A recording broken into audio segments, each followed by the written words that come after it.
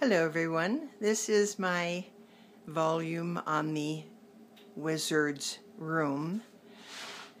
It's made out of a dictionary that you can get. It's a large one of course.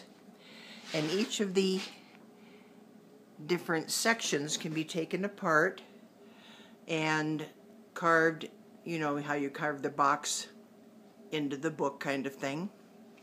But this is the lock. Up close, I guess. And it's made out of paper. I just took paper and folded it, gave it the antique leather look with the Mod Podge, with a little bit of dye, you know, on the sponge first to give it some brown color. And then I took the cutters, the uh, dies, and did the corner and I did it out of um, uh, the gold paper and then I antiqued it. Um, but this is the book and like I say it's quite a large book. But the magic is on the inside. When you open it, you see the wizard's room.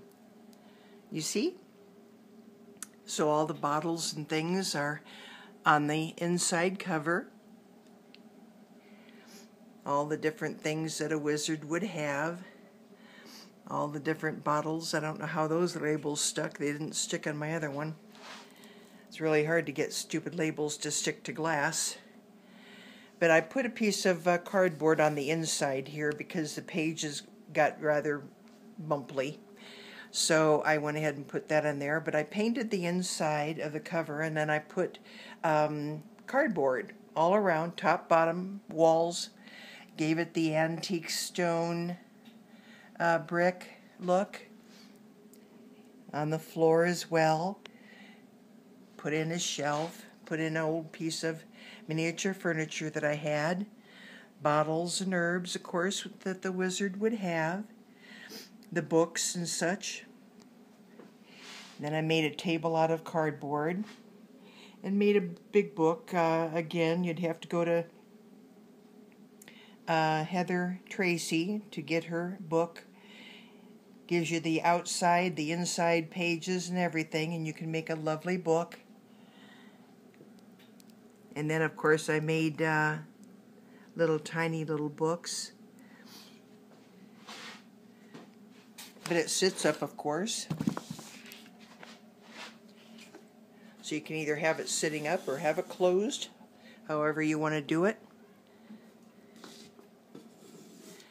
Because it sits up by itself. But see these things here, like regular albums, you take those out, and then you can go to the individual sections and carve them out as sections. It's a lot easier to do that rather than do the entire book.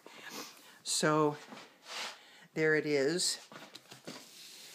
And uh, I hope you like it.